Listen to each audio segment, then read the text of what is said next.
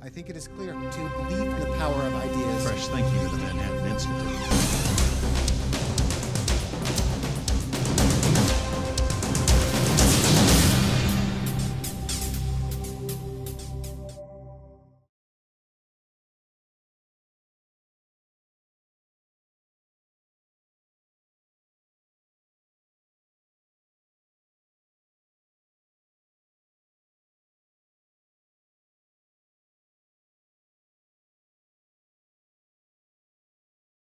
Good afternoon, ladies and gentlemen. We are back now talking about Reaganomics and what we could learn uh, in the current economic environment. Great to see you all back with our panelists talking about the success of that era. Let me kick it off, gentlemen, with an open question in terms of the success of President Reagan's economics and what we might take from that era to perhaps create solutions to some of the ills that we're seeing during today's slow economic environment.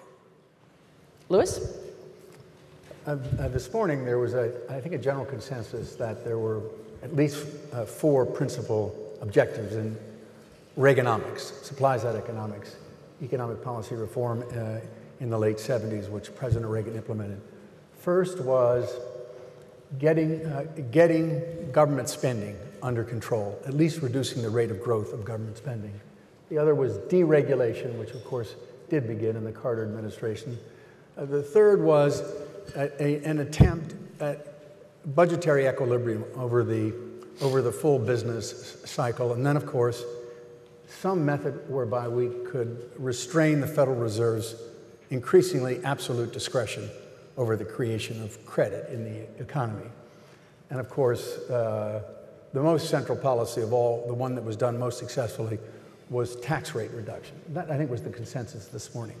The question is, what was not done in that period, which has permitted um, a runaway, even a rogue government, a renegade government, and a level of government spending that no one in the 80s, given the successes we were achieving, uh, could have anticipated. Why is it that almost every president has come to office, every major economic uh, policy advisor, saying, we are going to control government spending? Uh, we know how to do that. Uh, we are going to reduce tax rates, but also we are going to control government spending. Indeed, we are going to balance the budget. President Reagan himself was most interested in the idea of budgetary equilibrium over the full business cycle. And I think he mentioned not only to me uh, personally, but to others uh, who have served on this panel, and at the very end of his uh, uh, administration, he said he was most disappointed that he was less well, able to get control. Let me, let me back up here for a second because something that you just said struck me, and I want to see if our, our other two panelists here agree with that. Now, Larry Lindsay, do you agree that there was something missing in the Reagan era that, in fact, led to this overspending and the situation uh, that we are in today? Well, you know, the problem with Washington is you can have some success, but you can't necessarily hit, hit a home run. And uh, Reagan got us at least to third base. The problem here uh, with spending is that you have uh, constituencies that want it, and the people who pay for it on the other end are very diverse. Uh, and it's hard to get them together in a coalition. And so, in general, the bias in Washington is always going to be to spend more because you have narrow constituencies who want to vote for it. And opposition to it, you know, we don't even know who pays for spending now. Uh, if, if you do it through debt or if you do it through money creation, it's future generations, and they don't even turn up at the ballot box. So um, I think we have a, a natural bias in our system to want to spend, and every now and then it takes a movement like what we have uh, in 2010 to come along and start slashing spending. Uh, just a uh, comment on uh, Larry's implying that uh, I think that there was a, a missing link, and um, I'm inclined to think that uh, uh, Larry Kudlow also uh, takes that position, knowing him as I do for so very long. The missing link was that we never, we never got control of the Federal Reserve's absolute discretion ah. to create money without limit.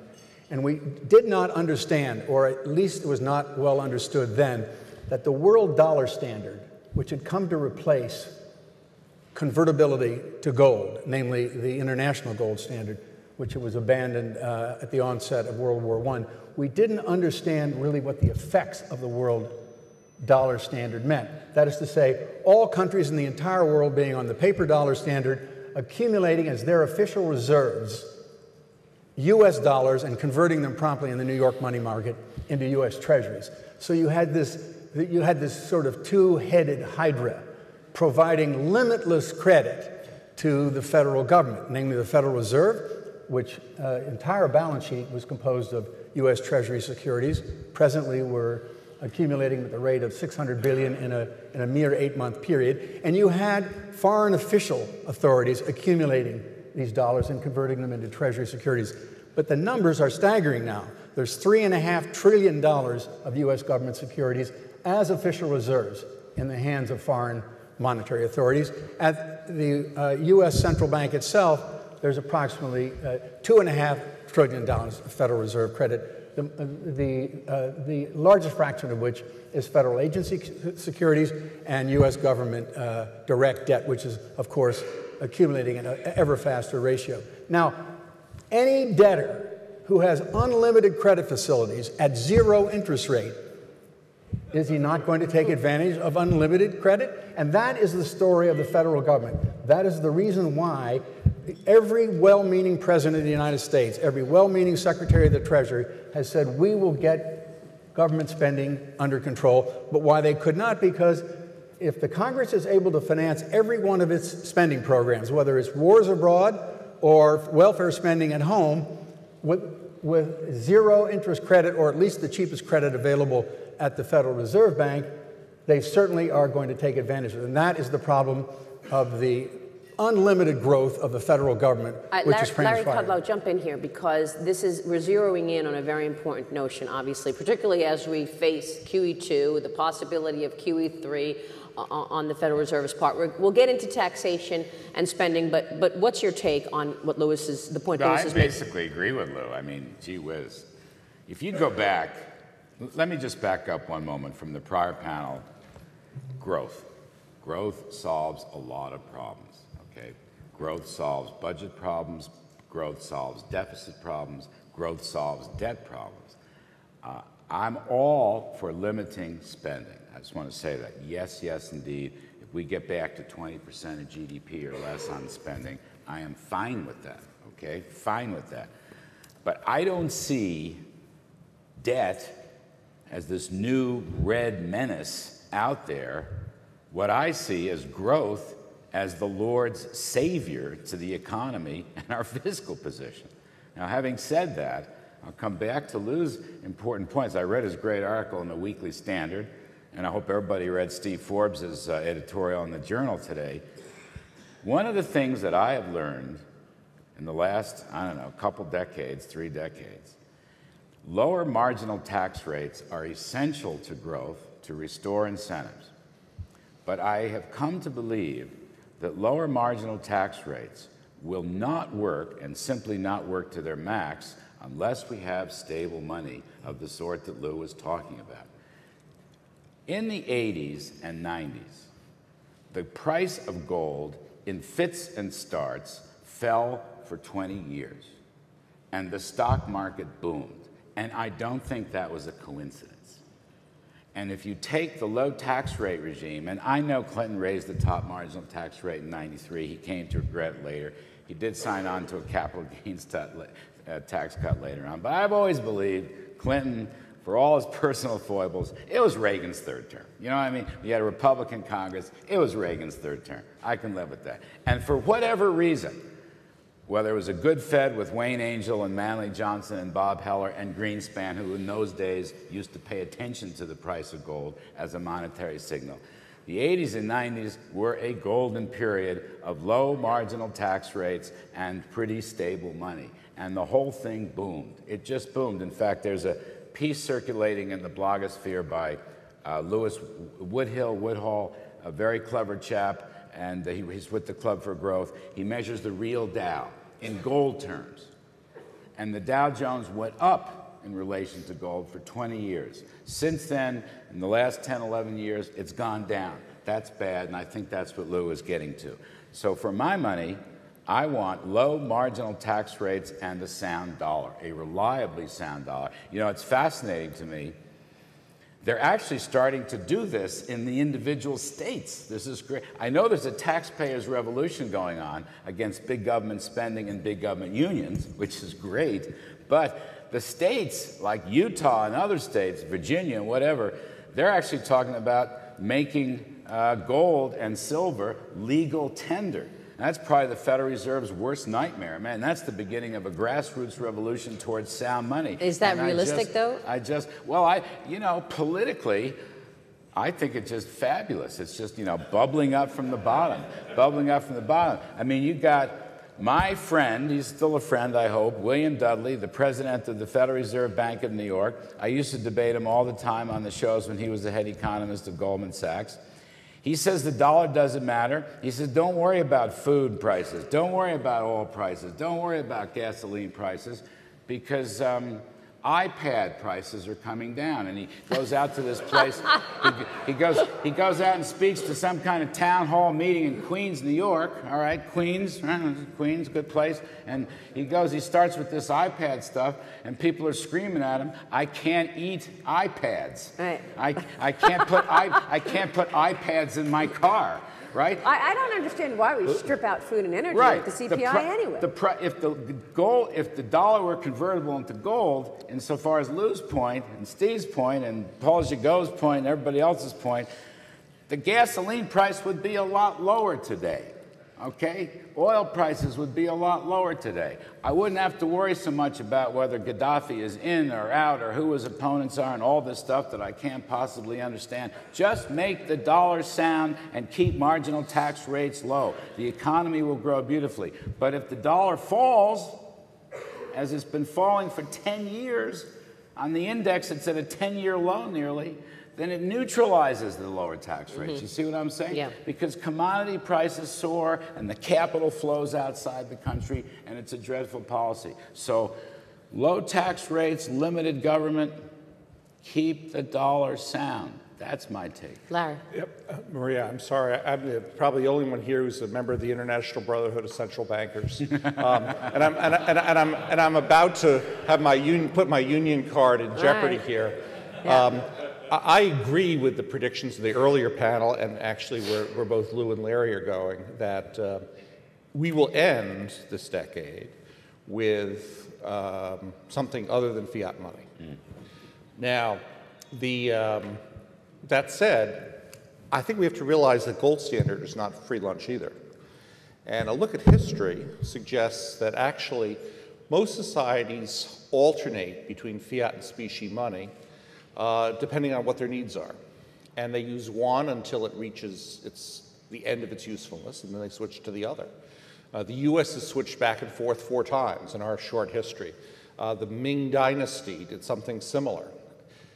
The advantage of paper is that it does make uh, credit more available, and in a period where you have very rapid technological change, uh, it's a very useful thing to have. Uh, gold is also abused. Gold prohibits the abuse, but doesn't allow the flexibility. And you know, if you look back at the end of the 19th century, when we had the gold standard in place, what you had were very short business cycles where you'd have a spike and then a quick collapse, and then a spike and then a quick collapse. You know, if you're building the railroads and you got to chop down all the forest, to get the railroad ties together, you quickly run out of credit, and that tended to be what happened. Um, and Greenspan posited in the 90s, and although I disagreed with him on the can read the, the FOMC minutes, I was very much against accommodating the 90s bubble. The case for elastic currency when you have a positive technology shock is pretty good because you get the technology in place much more quickly when you have a long, elastically supplied business cycle like we had in the 90s um, to get technology in place than when you have the short, sharp spikes that a gold standard would impose. So, you know, I just think we have to be keep an open mind. I think they're going to be right. We're going to switch.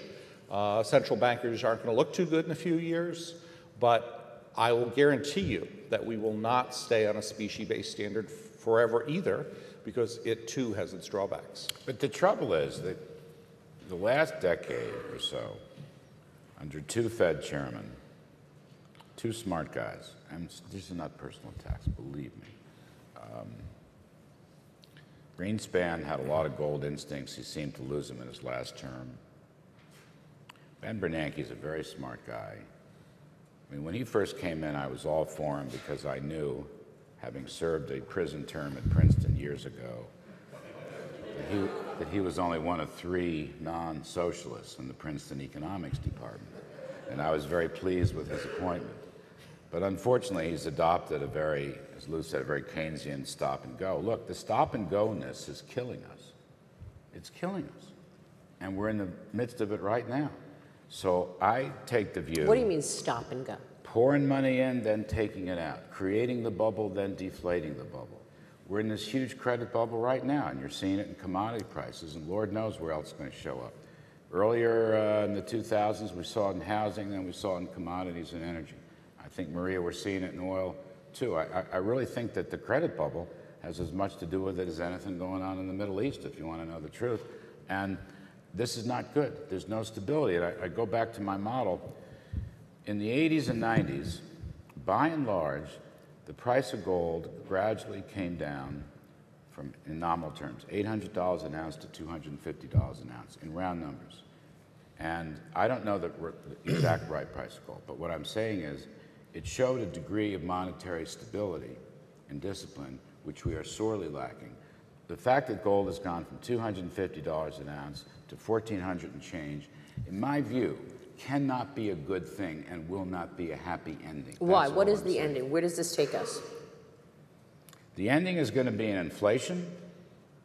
The ending is going to be a lot of damage to consumers and corporations and profits. The ending is going to be a lot of damage to the dollar as the world's reserve currency, which um, maybe from national pride I would like to maintain as long as it's linked to a solid currency, to gold, as, as Lou was suggesting. I- don't want us to lose that privilege. I don't want us to lose that leadership. In fact, in fact, one can almost plot the rise of America as the gold price came down and the decline of America as the gold price went back up. These are not, Reagan knew this in the early economic meetings in 81 and early 82 and so forth. I was in some of those meetings. He talked about gold. He said a great, currency, a great country needs a great currency. He never flinched from gold. The reason he let Volcker do what Volcker was doing wasn't perfect, but it was awfully strong at the time. He gave Volcker the, the, the ground to stand on is because Reagan was steeped in the, in the virtues of the gold standard that uh, Lou was describing. And whatever the modern rendition is, I'm not against paper money. I'm not against paper money. I just want it to have value. Right. And I'm saying the gold, the, the, the dollar problem is undermining the supply side argument of the efficacy and success of low marginal tax rates. I just want to make that point. The dollar problem is undermining the incentives and the efficacy and the success of, of supply side tax cuts. If That's that is so important. obvious, why then do we have the policies that we have right now? Well, I, I, um, I'd like to respond to that while at the same time uh, um, mentioning two points that uh, Larry uh, and one that uh, the other Larry uh, mentioned. We have the policies that we now have, especially if you're referring to runaway government spending and a runaway Federal Reserve System. And also a strong dollar policy in, in, in words, but not in action. Yes, well, uh, they're, but they're linked.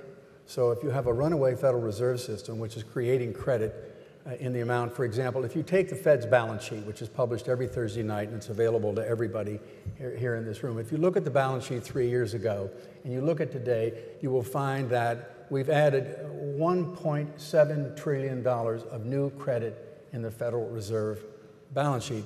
The Federal Reserve's balance sheet, that is to say, the supply of credit to the banking system at near zero interest rates, has tripled in a mere three years.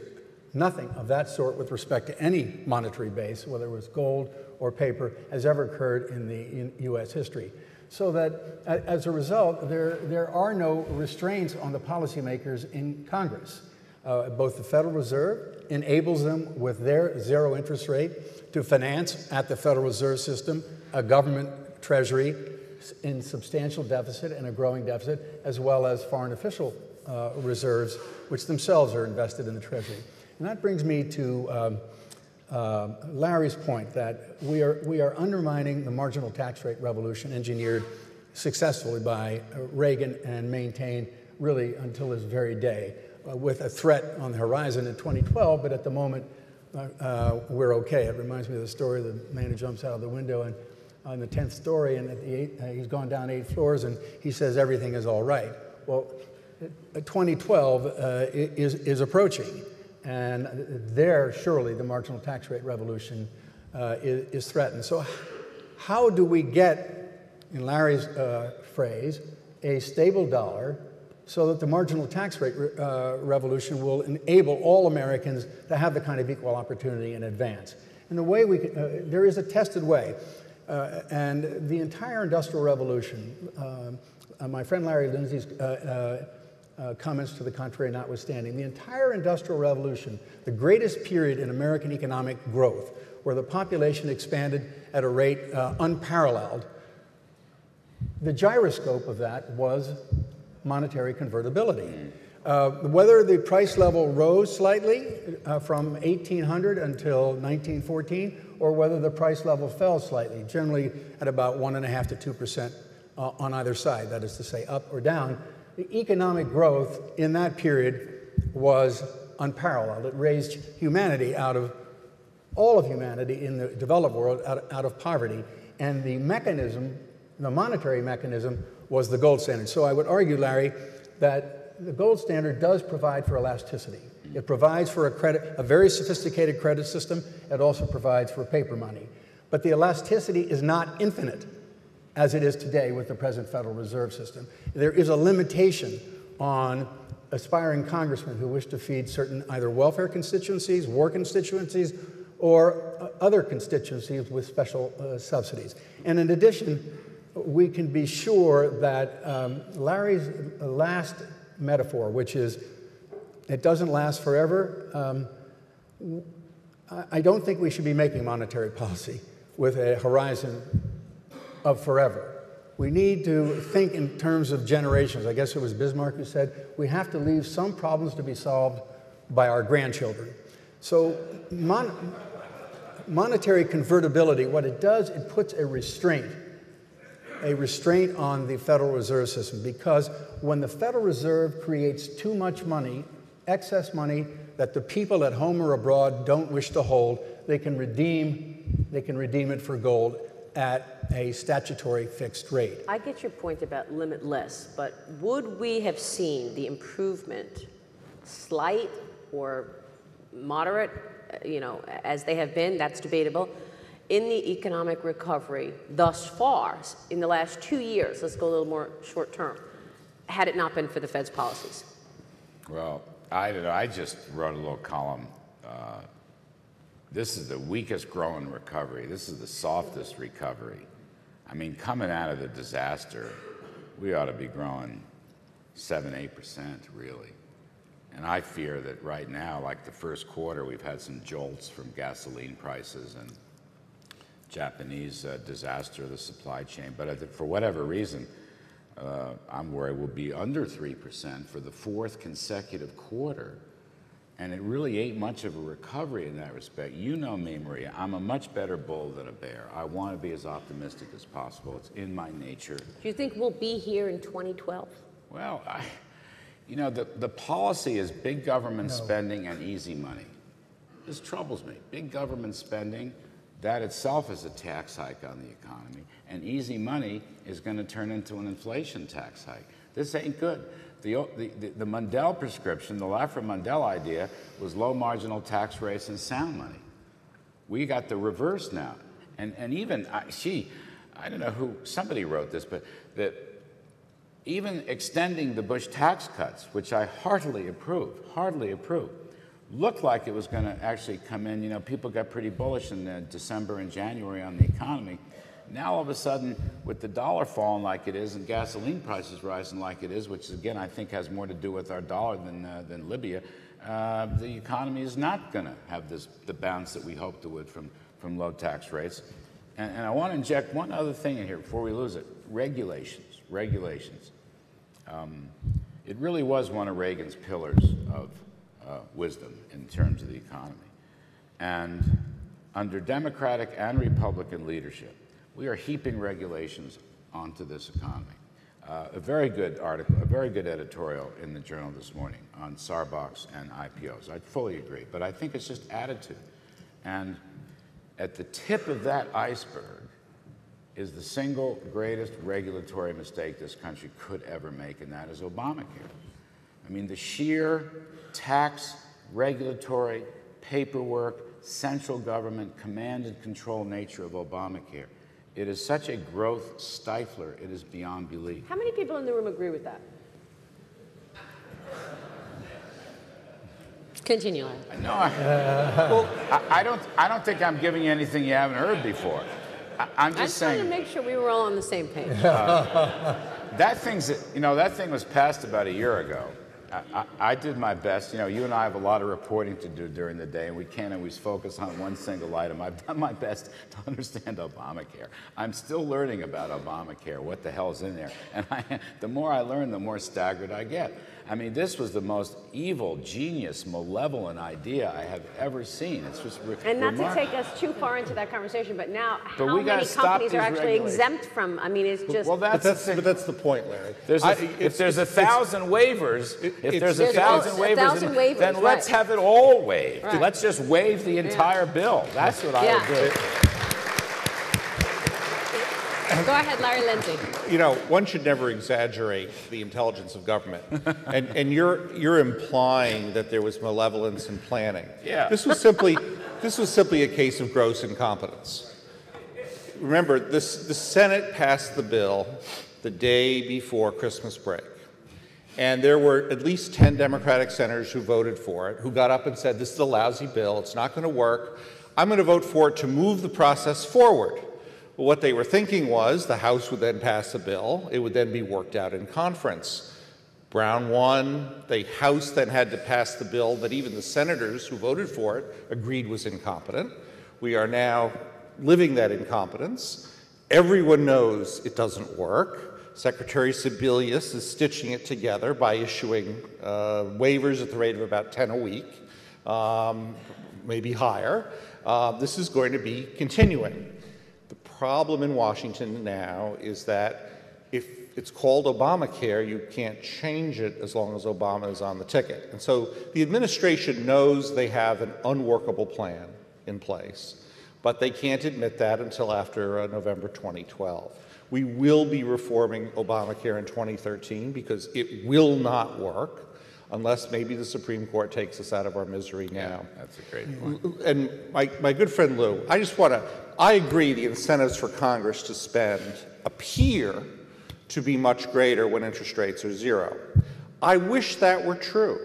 They spent plenty when interest rates were 21.5%. Interest rates are not a constraint on the behavior of government.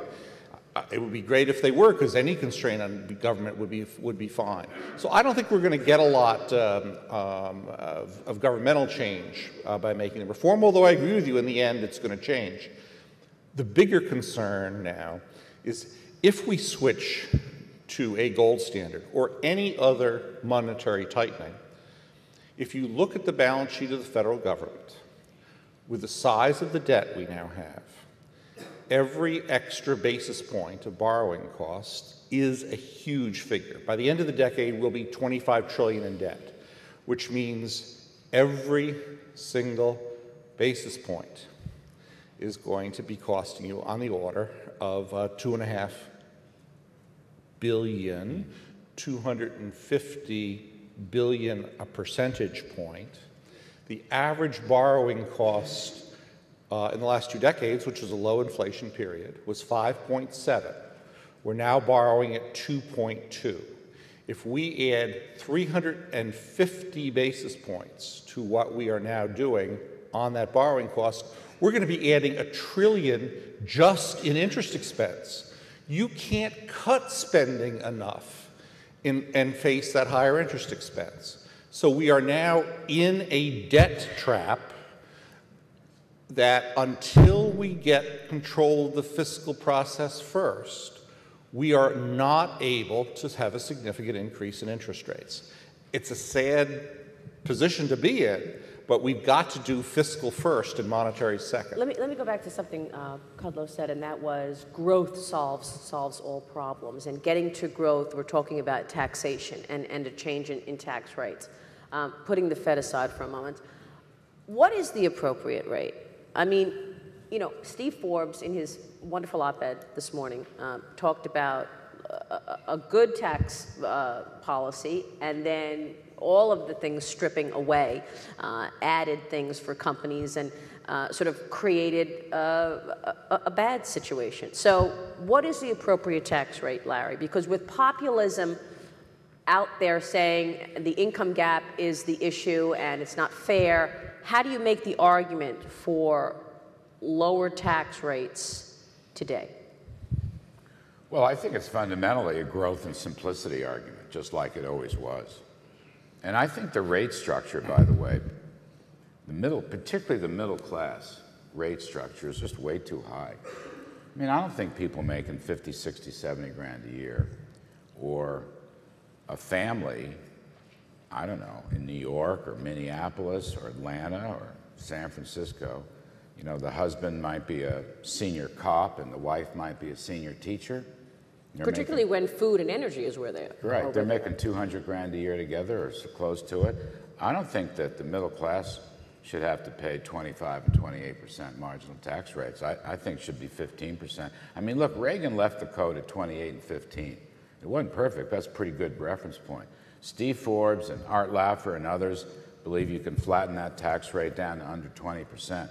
And I think that is an experiment worth, you know, worth trying. Right now, what troubles me the most is the high marginal tax rates on business, on business, including what inflation is going to do to the depreciation schedules. Uh, our corporations paying the highest tax rate in the world are tied with Japan or whatever. I guess Japan's going to lower it.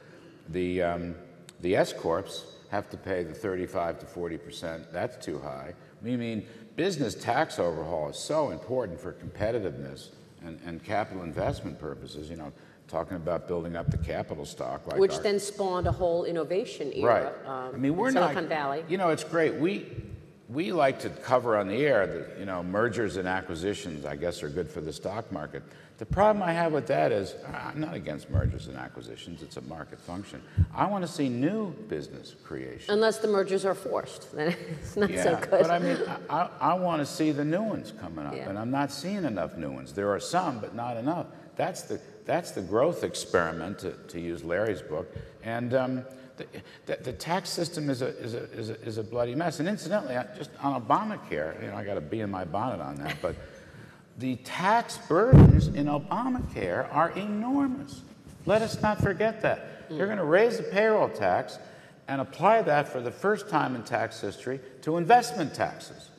So we are going to have a huge qualitative and quantitative increase in the marginal tax rates on the extra dollar put at risk in investment just to finance this wacko system that is going to have all these new entitlements that's not only going to stifle economic growth, it's going to make the budget even more bankrupt than it was before. Yeah. It's not a good deal. It is malevolent. It is malevolent. Larry, you know why it's jump, malevolent? Jump here. It's malevolent because to get it passed, the corrupt government had to buy off individual senators. They bought them off.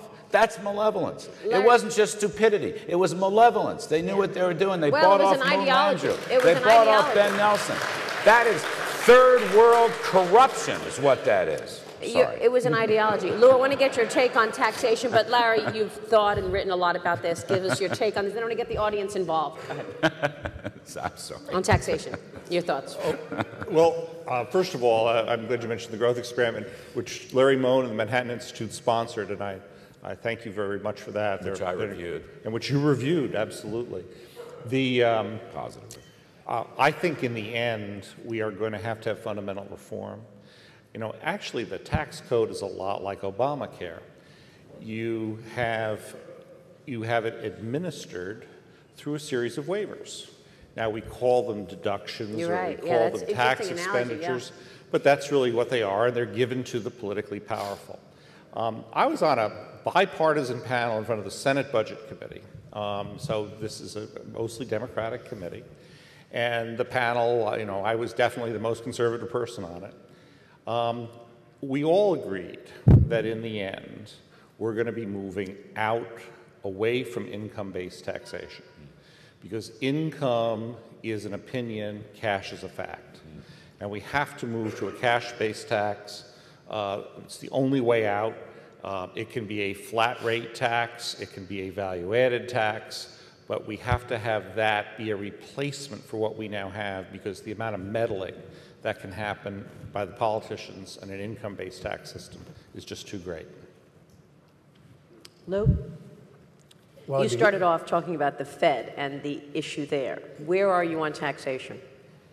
Um, single tax rate. Uh, the single tax rate, which will require us at, at that low level to eliminate uh, both on the left uh, subsidies for um, their uh, pet projects, whether they be malevolent or incompetent, and, and, and on the right for those subsidies which are identifiable uh, in the business uh, sector. And, uh, there's a litany um, for each of them, and I, and I won't go into that.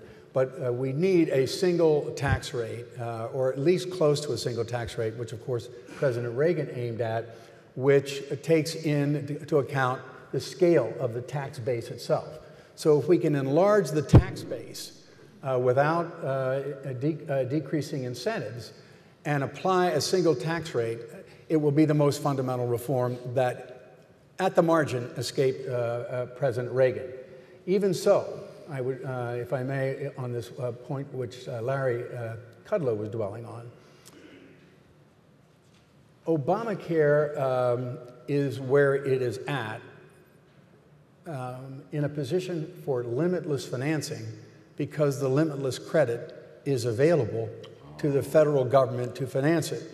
So again, with all respect for my, my friend Larry Lindsay, uh, uh, in his last comment that about we must get fiscal control, my argument is we shall never get fiscal control that, is, that any sensible man or woman would embrace, such as budgetary equilibrium over the full business cycle, until we get the monetary system, that is to say, the Federal Reserve System, and its unrestrained credit policies uh, under control. Now, we can debate uh, long and hard about what is the best mechanism to do that. In my opinion, uh, viewing uh, the only laboratory which human beings have available to them, the laboratory of human history, um, the gold standard was the least imperfect monetary system available to restrain politicians who have their own interests from spending the people's money beyond uh, the capacity of the economy to absorb these expenditures. It's one of the reasons why I do dwell now, since Reagan accomplished so much and so much of it has been lost in the last 20 years, I do dwell on what I think President Reagan himself might have been called the MacGuffin do you remember Alfred Hitchcock's movies where there was always a secret uh, solution to the problem and it was referred to as the MacGuffin? If you could get at the MacGuffin, you could solve this entire mysterious problem. In this particular case, limitless government spending and the growth of the federal government when everybody is pledged, like Phil Gramm and many others, to ending it by statute. Well, the MacGuffin here, I believe, is uh, the monetary reform for it will apply uh, uh, a necessary fiscal uh, constraint and with economic growth, rapid economic growth based upon Larry Kudlow's uh, proposition, we can grow into a steady level of spending which has been restrained by the limitation of Federal Reserve credit and foreign official dollar reserves. We have three microphones uh, that, that, will be roaming the audience. So I want to, uh, if you have a question, please, please raise your hand. But, but while we do that, let me throw one thing at you guys. I don't know if you heard recently Michael Moore's comment. It's our money and we want it back. What is the pushback? that's what he said. I mean, Michael I'm sure Moore? everybody saw Actually, this. that's the best thing I've heard from That's him. what he said. No, no, no. No, but Talking about business Oh. and highest earners should pay more. People's money. So what is the pushback, Larry and Larry and Lou, for this idea that higher earners corporations make a lot of money and they should carry more of the burden? Well, listen, the, uh, whether it's the federal government or the states, the big states particularly, you know, the high earners are paying about 40% of the income taxes at lower tax rates, at least at the federal government. And uh, I don't know how much you want them to pay. I mean, even here in New York, it's fascinating to me. Uh, our new Democratic governor, Andrew Cuomo, will not reimpose the so-called millionaires tax, which I don't think starts at a million. What is it, about 500,000 or yeah. 250, right. whatever. But he won't even do it. I mean, they're already paying as much as they can pay before they move to foreign uh, countries where the tax rates are even lower. Or not everyone in America can live in Florida. Larry Lindsay? I would love to have an Microphones election come on up here. We've got lots of questions here. that single issue. Yeah. You ask the American people, is the money you earn yours or the government's? Right. Vote. Let's, let's have an election. Yeah. And um, I guarantee you the, the public knows very well that folks who earn their money, it's not the government who beneficently gives it to them. Questions from the audience? Yes, sir. Economic Research Foundation. Uh, I'm wondering, given the political difficulty that it might uh, that might we might encounter if we wanted to have a flat tax, and people would say, "Well, I actually like my mortgage deduction. I like my charitable deduction." Uh, might the answer be to have a voluntary flat tax and let people choose to have a 15% or 17% flat tax? But if you like all your deductions and your write-offs, you can do that and let people just have a choice either of the existing tax code or a flat tax instead. Uh, well, that, uh, I think the question is an excellent one. That is what the issue uh, at quadrennial intervals is in presidential elections. Uh, one hopes that one candidate will present a coherent program for one of the alternatives that you uh, specify. Another candidate will uh, campaign for the presidency um, on one of the other two options. It is very difficult to put on a ballot a, a choice in a national election of that sort. Though it's not uh, unthinkable, it, um, it might be unintelligible. And uh, so, therefore, we have to pray that our presidential elections turn into the kinds of campaigns that President Reagan introduced in 1980, when the contrast with the preceding president's uh, program was distinct, obvious, and transparent to almost all, all the voters. And while Reagan was uh, held to be an underdog up until the very uh, moment of his election. I think he was described by the New York Times as a troglodyte. Um, nevertheless, the American people recognized the differences in the programs and embraced uh, Reagan, and of course, uh, uh, we all know the results. So I, I, would look to presidential elections to establish the programs on which the American voters would um, uh, vote yay or nay, and then I would look to that president hopefully a man of principle and a program that he wishes to execute to carry it out.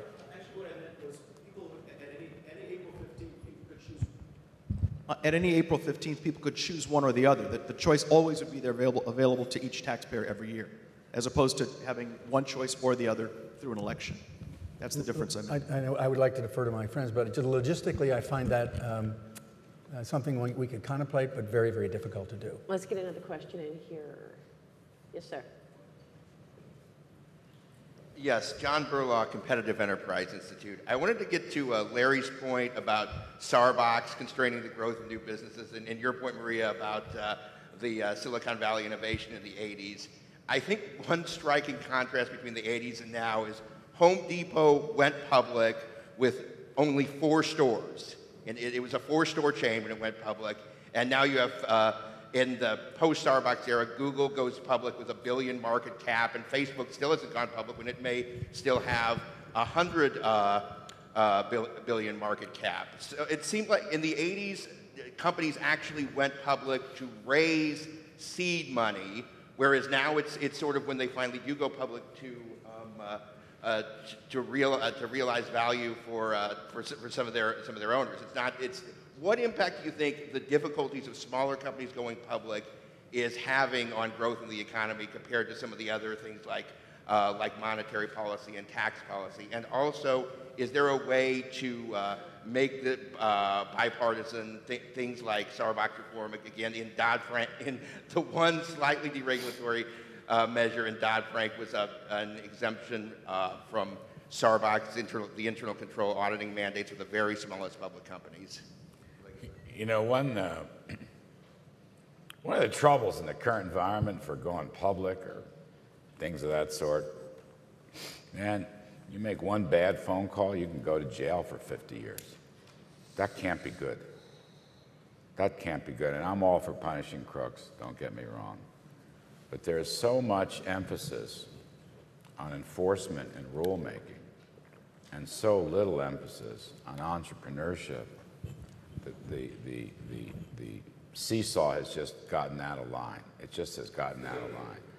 And this Facebook story is so interesting to me because uh, you know, we covered it so heavily. You, mean a market being created for Facebook being a private company? Right. They, they, they it seemed, I mean, I guess eventually they'll go public, although I don't, I don't know that, but they worked so hard to raise capital without going public. Right, and, and they did it. and they did it. And, and, uh, and I think one reason for that was all these rules and regulations. You know, I think, uh, I think that's a big part of it. It ought to be easy and desirable to raise capital in the public market so everybody can participate rather than have these covert financings and relying on one firm to be the whole clearinghouse. So that troubles me a little bit. Well, is part of the issue, though, that the people in government who are so called policing the industry um, are not equipped to necessarily understand the complexities happening in business? Yes, yes, that's the fundamental problem. Uh, a, a, very brief study was done um, um, of all the presidential administrations since the beginning of the 20th century. Uh, the cabinet officers and the senior officers of each of the presidential administrations since 1900 was examined. Um, on average, I believe that approximately 70 to 80 percent of the senior officers of an administration had been themselves involved in the market economy, in a vocation that had to do with getting and spending or um, um, an advocate, an, an, advocate's position with respect to uh, doing business, establishing businesses, or originating businesses, or managing businesses. Then the uh, same research was applied to uh, the Obama administration. The number was 5%. We have an administration, I'm, I'm sure, uh, full of well intentioned men. I'm here uh, to assail no man's motives. Uh, full of um, men and women with uh, good intentions. But they are not only incompetent by Larry Lindsay's standards, but they are, I think your adjective was, they are ill equipped. They are not equipped at all to deal with a, a, a business system um, of, on the scale of the United States of America, which has historically, from its very inception, been decentralized and not governed by a command and a control economy filled with men who were inspired um, in their university systems by uh, pseudo socialism. I'm not sure that we, we answered your question, uh, but yes, sir. Microphone's coming. Just talk about growth, and uh, with the globalization and it appears to be the exploitation of American jobs, where is this growth going to come from? Where is it going to come from? Re repeat the question. You mean what sectors or? Well, where are the jobs going to come from? We seem to be, globalization is creating exploitation of jobs. It's cheaper overseas. Even, even with these iPods, it's being produced overseas. So even with innovation, I, I, my question is, where are the jobs going to come from? Where, where are the jobs going to come from? Where's the innovation going to come from? Particularly, by the way, as America doesn't have a lock on innovation right now. You know, right, right now you're seeing the Russians uh, create their own Silicon Valley and the Chinese making uh, solar panels. So where, do, where are the jobs going to come from and the innovation? Look, we, we have so many people unemployed, and, and the participation rate of employment is so low right now that, that we need to get those people back into the workforce. We need to create the opportunities to get them back into the workforce. And for a variety of reasons, businesses, large, medium, and small, are reluctant to take a risk on the marginal worker right now because they think it may be too expensive. Regulatory, tax, And bureaucratic, right? or the fu- yeah, or the future economies, you know, the economic outlook. I mean, one area that occurs to me where we could have a major boom in a high-tech industry is energy. Is energy. But I don't want to just pick out a couple of aspects of energy. I want the whole American energy sector. Take the shackles off, take the handcuffs off, let them rip. Um, I was so jealous when you interviewed Rex Tillerson. It was a great interview. He's my favorite CEO. And it was one of these wonderful Maria type interviews. This guy wants to go to work. He wants to go to work. Let him. Look what they've done. And let all those oil companies and all those gas companies and all those refining companies. And let's fix the nuclear. If there are things to improve on nuclear, let's do that. Let's go to clean coal. And let's go to alternative fuels too. But let the marketplace do it. In other words, unshackle the American energy business. It is one of our greatest businesses. You know, you're talking about the emergence of the industrial age and how we brought the whole world forward, and you're dead right. Look at the role energy played in that. It was phenomenal. We've been talking about innovation in energy for a long time, Right. Larry, haven't we? And it hasn't taken hold. It's just these guys want, they're afraid. They're afraid of their own shadow. You know, they'd rather drill off West Africa than, than do something for the United States. There's one area right there. The other was transportation, another manufacturing industry. My friend uh, Fred Smith, the CEO of FedEx, if there's a better businessman, I don't know who- who it could be. Fred Smith says, quit regulating me to death and quit taxing me to death. Now, this guy created, I don't know how many jobs he created, 50,000 jobs, whatever, worldwide. Give me 100% write offs for new investment. Give me a low marginal tax rate. Listen to um, the former CEO of Intel, Otellini. He says, I don't need to go to, Ch- I, we don't have to go to China. I've heard Jim J, uh, Jeff Immelt say this of GE. He says, I don't want to go to China. They're not that good. Chinese workers aren't that good. By the way, it ain't that cheap anymore. Make it good, make it competitive for me at home. Quit taxing me at home. Quit Actually, regulating me at I home. I would say putting Obamacare aside, there is innovation happening in healthcare oh, as Oh. a result of technology. So th- there's a shot Private- that there's real innovation in biotech Private healthcare. care is one of the greatest employers of this Yeah. country. In fact, the private healthcare sector during this whole jobs downturn has been a net creator of jobs. The private healthcare. Yeah, You're agree with you. exactly right. Yeah. You're exactly Let's right. try to get some more questions in here. Uh, that, these are all the areas where we can grow the economy. Jump in, Lou, because I want to get your take on this. Here's this question right here. prospects of reestablishing a growth agenda, do you think, uh, when approximately half of the population uh, are net recipients of transfer payments from, from the government? Uh, If I understood the question, what are the prospects of, of uh, what are the prospects for growth in our country given the Well, given the vested political interest in roughly half the population of maintaining net payments from as opposed to the, to the government. I believe all heard the question.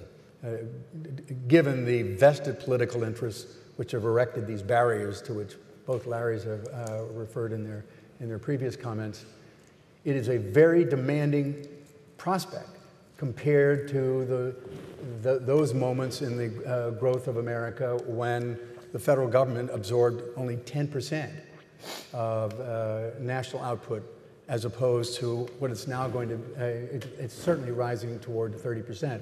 Still, um, there is no more innovative uh, country than the United States of, of America. Even with Sarbanes-Oxley, to get at this gentleman's question, Sarbanes-Oxley is having the tendency to cause young developing companies, one I'm associated with, which is very profitable, which could go public, but has spent all the money to be to qualify for Sarbanes-Oxley. They're staying private, but they are finding the financing that they need in order to grow just as rapidly, I believe, as they would otherwise in, in a public market. So that the American people, so long as they're not, not completely shut down by some kind of um, total command and control system, are going to be the great innovators uh, uh, in economic activity, even with the vested interests uh, in politicians. Is it harder? Yes. Uh, are there people who are prepared to meet the challenge just the way our parents or grandparents did? I, am absolutely uh, certain of that. Uh, are there those who are going to um, um, play in an economy which has become increasingly the, the, winner take all? Uh, yes, and I think that's one of the problems. What we have in an inflationary economy, which has expressed itself, as Maria was just saying, primarily in food and energy, we have uh, inflation affecting middle income and lower income people. Uh, in, in, fact, forcing a, a, a, vast sector of the population uh, from near subsistence, as it were, to fears of even uh, starvation. And you have another segment of the population which nimble speculators, nimble investors, and entrepreneurial business builders who are, in fact, able to accommodate themselves to this inflationary process. And so what the inflation does, what the unrestrained Federal Reserve does, it creates invisibly increasing social inequality, which itself plays into the congressional scene and gives congressmen on the left in the Obama administration all the writ that they need to insist upon a command and control economy to equalize the wealth. So, and, and that's playing into politics. We have about yeah. a, a, minute or two left because we have a reception to get, but I just want to get your take, all three of you, on where this is going. What is the proper economic policy that the GOP needs to come up with to compete with Obama in 2012, and will that resonate with the American people? Larry Lindsay, Lindsay kick us off here. The right economic policy for the next candidate to present? Well, I think that the congressional elections next year are far more important than the presidential election. And it goes to the previous question. Uh, Speaker Pelosi and anyone who wants to look at the detailed polling numbers can see it. The reason the Republicans won in 2010 was seniors trended from Dem to Republican she's going to try and flip them back. When the um, uh, President's Commission, Fiscal Reform Commission, uh, uh, came out, they had a very progressive Social Security plan. She immediately attacked it. She is going to make the issue we are not going to cut your entitlements. Mm. Senator Reid has said Social Security is not in trouble for 20 years, let's deal with it then. It is a very logical political position. That is going to be the attack. If the Congress goes Democratic in 2012, we will not have entitlement reform, and we will be validating your point, and we're washed up. Um, if, on the other hand, that attack does not succeed, you will have a mandate for entitlement reform that either President Obama or a Republican will be happy to embrace. So I would focus very hard on the 2012 congressional races because I think that's going to determine the future. Larry. Well, I tend to have an optimistic view of this. I really like what I saw in 2010. And I love what the Tea Party has done. I call it free market populism. And I think it really infused the GOP but I also think it sent a message to a lot of moderate Democrats. So I think the whole political game has shifted to the right and is, is good. What remains to be seen is whether the Republicans can produce a candidate through the uh, primary process who has a true economic growth agenda and deals with some of the things we've been talking about. like panel. Paul Ryan's agenda? Well, yeah, I don't want to single out yes, uh, look, my, we need flat tax reform, we need spending limitations, we need the dollar sound as good as gold, we need deregulation, we need free trade. It's a Reagan-esque message, and it needs to be adopted to the current modern situation. Nothing is ever the same. The 80s were, you know, 80 was different than 2012. But we need a growth message. I, I actually think that in the Republican House, I think John Boehner, in my conversations with him, he's a growth guy. I think Eric Cantor is a growth guy. I think Ryan is a growth guy. They're not the enemies. I think that the, the crop of governors running and so forth, I think it's a pretty good bench, good crop.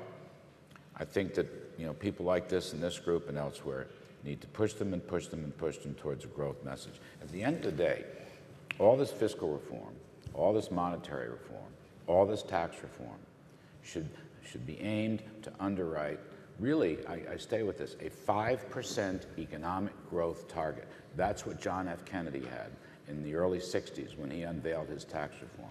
We need to say to people, these big government command uh, uh, uh policies did work.